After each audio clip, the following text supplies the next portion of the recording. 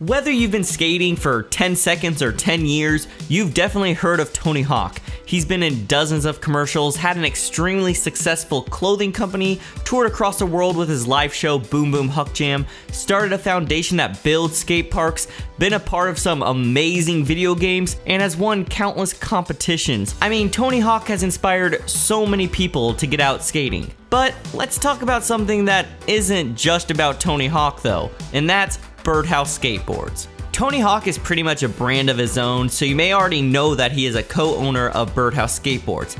Most people probably look at Birdhouse Skateboards and only think about Tony Hawk.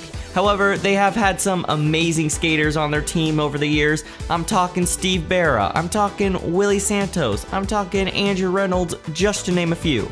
Even to this day, they have some of the raddest skaters out there, some of which include Jaws, Lizzie Armanto, and Elliot Sloan. Since the beginning of this company's journey, it has left its mark time and time again in the skateboard community. But today we aren't talking about those big moments in their history that you may already know about. Instead, we'll be taking a closer look at some of the lesser known facts about Birdhouse skateboards. Before we dive into those facts though, don't forget to like this video and subscribe to the channel to get notified about more skateboarding videos like this one in the future. Now let's get started.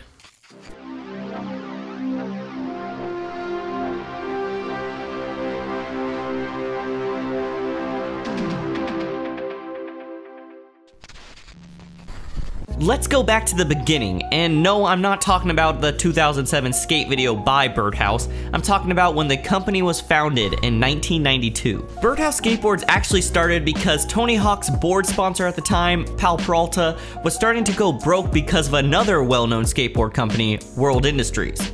At the time, World Industries was running aggressive ads about the skaters that were positive influences and how those positive skaters represented an older, out of date style of skateboarding.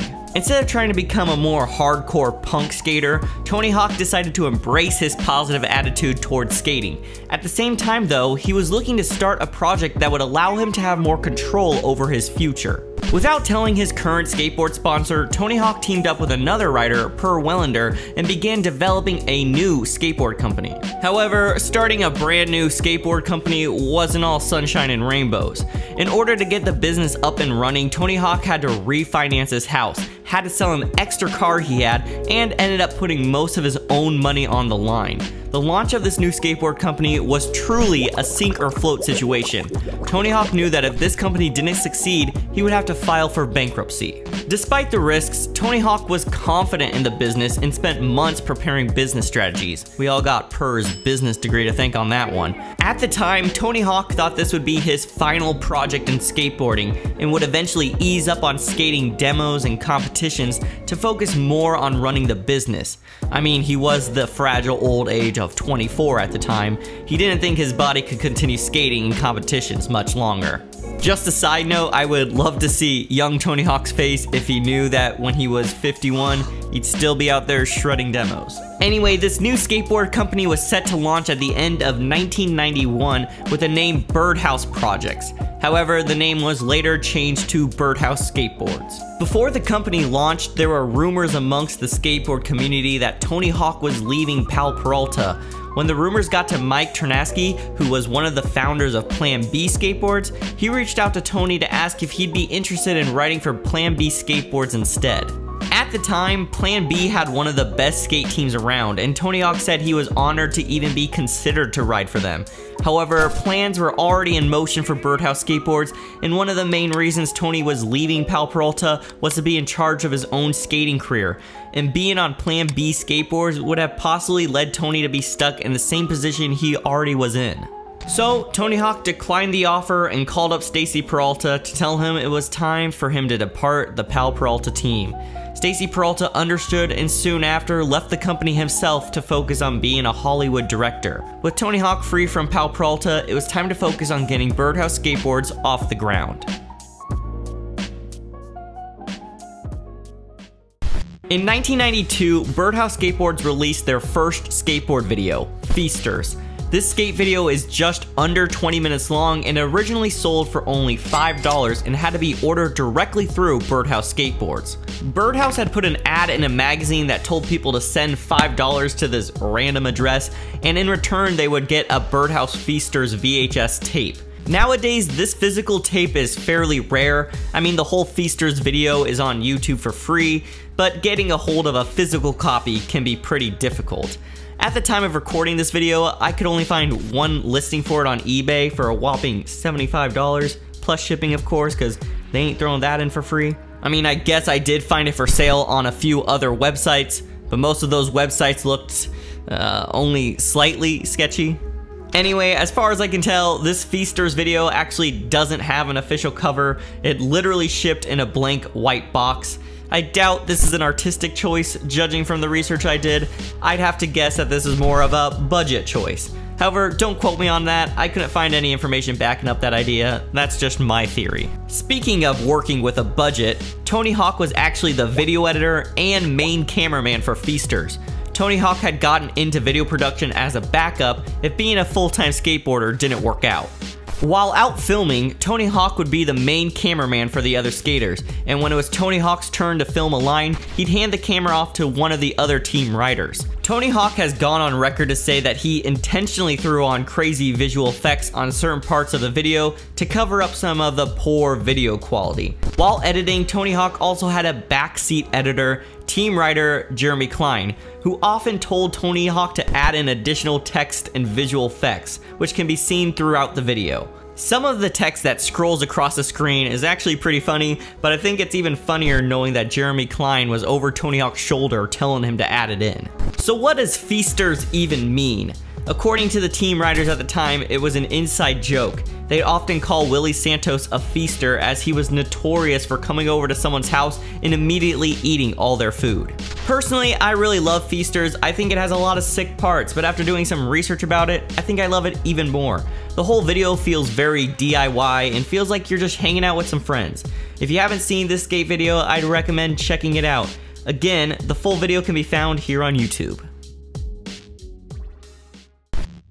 Okay, let's jump a little forward in time. I just told you about how the budget for Feasters was next to nothing, so let's talk about one of the higher budgeted Birdhouse skate videos, The End.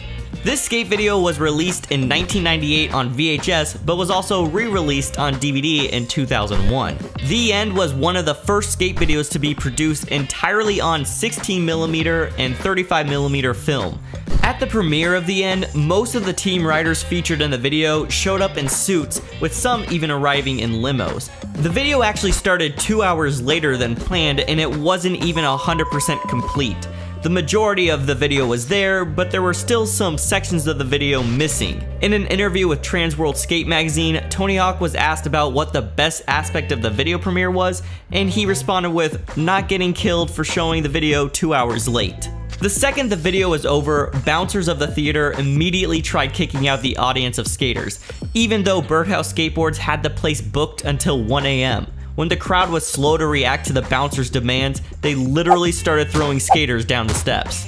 Despite the missing chunks of the video, the video premiering two hours late, and aggressive bouncers, the crowd seemed to love the video with many early reactions saying that they hadn't seen a video this great since the Powell Peralta days.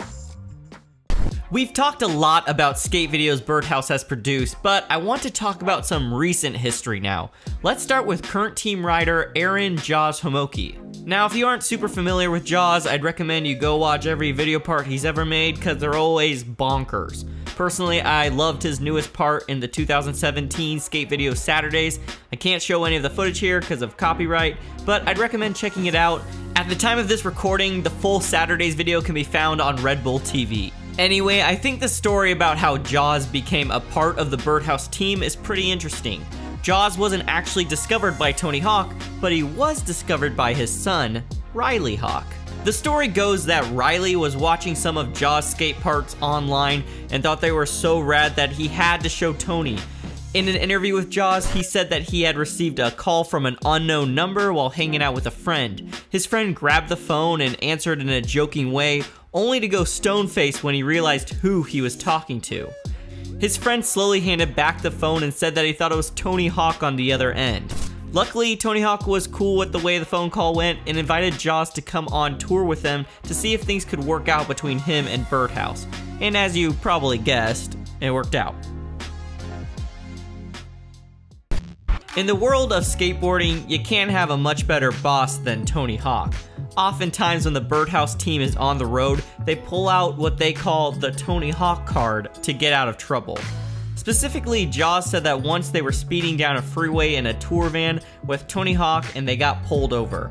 The cops would have probably ticketed them, but noticed that Tony Hawk was in the van with them. Instead, they made Tony Hawk get out of the car, take some photos with them, and then gave them a warning before sending them on their way. Even though you could argue that the face of Birdhouse is Tony Hawk, they have had so many amazing writers, parts, and stories to dig through. Birdhouse Skateboards has been a huge part of the skateboard community, and I bet that even when Tony Hawk finally hangs up the skateboard, the company will still be kicking decades from now. Birdhouse Skateboards isn't just about Tony Hawk. Each one of their riders have had some of the most stacked skateboard resumes. I wish I had more time to talk about other interesting tidbits. I didn't even scratch through the surface of the interesting facts I found while I was researching for this video. But this video would be delayed like another month and I can't do that. So subscribe to this channel cause there definitely will be a part 2 in the future. What skateboard company would you like to see me dive deeper into? Let me know in the comments down below. I hope you learned a new fact or two about Birdhouse skateboards. Which fact did you find the most interesting? Thanks for watching this video. Don't forget to like and subscribe. And as always, have fun, good luck, and keep shredding the gnar.